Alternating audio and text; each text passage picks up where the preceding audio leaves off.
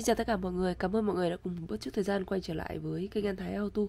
Video ngày hôm nay em xin giới thiệu tới anh em một sản phẩm Đó là quạt gió giàn lạnh trong xe của xe Hyundai Verna 2006 đến 2010 Sản phẩm được sản xuất bởi công ty Halon Hàn Quốc.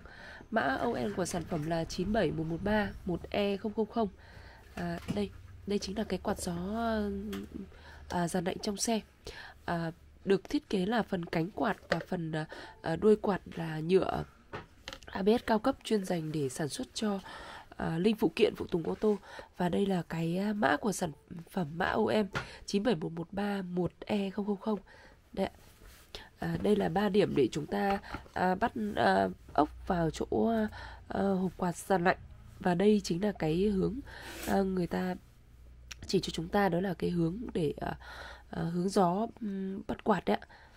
À hướng hướng hướng gió khi mà chúng ta quay quạt. Đây anh em nhìn nhá. Một điểm bắt ốc hai điểm này ba điểm. Đây đây chính là cái hướng uh, gió quạt này. Và uh, trên cái phần cánh người ta cài cái phanh này để giữ cho nó chắc chắn. Đây anh em nhìn được cái nhựa của nó rất là chắc luôn. Đó. À, với cái dòng này thì là nó là nguồn điện là 12V anh em nhé đây đây là cái rắc điện của nó đây một à, giác âm một giác dương chúng ta có thể nhìn thấy không ạ? Đấy, ký hiệu rất là rõ ràng. Đó.